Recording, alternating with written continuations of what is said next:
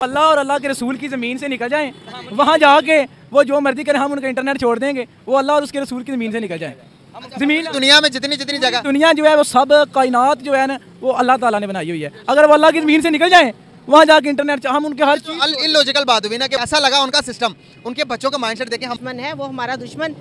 सिर्फ़ जोग्राफियाई जो हमारा इख्तलाफ है इस हद तक हमारा इख्तलाफ है। अदरवाइज़ हम सारे इकट्ठे ही थे। मेरा ख्याल है इस नफ़रत को जेनों से निकाल के तो हमें प्रोग्रेसिव स्टाइल में आगे बढ़ना चाहिए। यही वजह है कि देखें, अब पूरी दुनिया में जो है वो इंडियंस फैले हुए हैं। उनकी उनकी एबिलिटीज़ को ब्लाइज किया जाता है। हमारा यहाँ पे मास्टर और ग्रेजुएशन किया हुआ बंदा इतनी फ्लुएंसी से बात नहीं करता, जितना उनका फाइव सिक्स का बच्चा फ्लुएंसी से बात करता है। तो ये ये यही गैप है।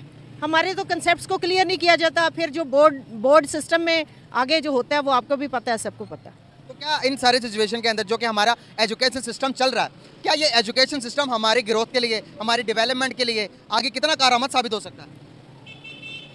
मेरा नहीं ख्याल कि ये आगे कारामद साबित होगा। इसको अगर हमने एक अच्छी कॉम डेवलप करनी है तो सबसे पहले हर चीज़ का कंसेप्ट उनके माइंड में क्लियर होना चाहिए। और वो थ्रू एजुकेशन ही आप उनको प्रोवाइड कर सकते हो। वैसे तो